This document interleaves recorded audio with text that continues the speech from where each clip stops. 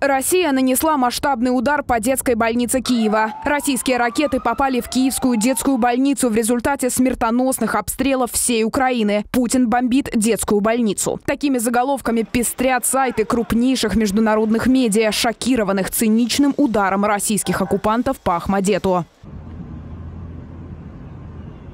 Саме тут діти обретають надію. Именно здесь дети обретают надежду, надежду на здоровье, надежду на жизнь. И именно по этому заведению прилетела российская ракета. Я уже устал говорить, что Россия – это страна-террорист. И это еще дополнительное доказательство, что эта страна не может существовать как государство. Удар пришелся по корпусу, где располагалось токсикологическое отделение. В момент атаки дети проходили тут процедуру диализа. Десятки пациентов и их родителей ранены. Среди медицинского персонала есть погибшие. После удара в медицинском центре пропала электроэнергия, и те пациенты, которые находились на аппаратах искусственного кровообращения или вентиляции легких, и те, кто был на операциях, остались без систем жизнеобеспечения. Их эвакуировали в первую очередь в другие медучреждения Киева. У меня вчера родился племянник, которому сегодня должны были делать операцию на сердце, потому что у него не открывалась аорта. Ребенка перевели в кардиоцентр и решали вопрос, когда делать операцию. В то время, когда мы ждали, раздался взрыв. Нас всех накрыло взрывной волной. Я разбирала завалы, пока не приехали спасатели. Мы все вместе, люди, которые были в то время здесь, на территории больницы, начали оказывать медицинскую помощь, начали разбирать завалы. Мы понимаем, что более 20 детей пострадали в результате террористического акта. Плюс мы говорим не только об Ахмаддете. У нас есть центр детской кардиохирургии, который находится на территории Ахмаддета. И там во время этого террористического акта в трех операционных были операции на открытом сердце. Там повыбивало окна. Мы перевезли этих детей в другие кардиохирургии.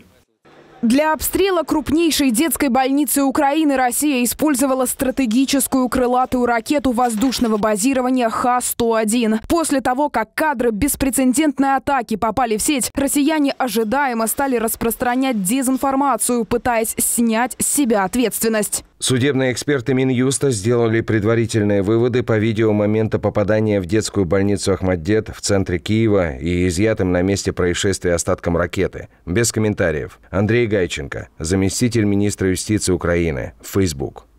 Атака России всколыхнула международное сообщество. Мировые лидеры осудили совершенный Россией террористический акт.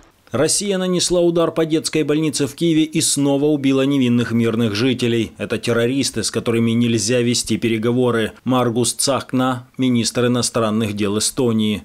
Кремль превратил эту войну в войну против детей, негуманность и пренебрежение к человеческой жизни. То, против чего мы выступаем. Майя Санду, президент Молдовы. Пока полезные идиоты грезят о мире с Путиным, он направляет ракеты на детскую больницу. Ян Липавский, министр иностранных дел Чехии.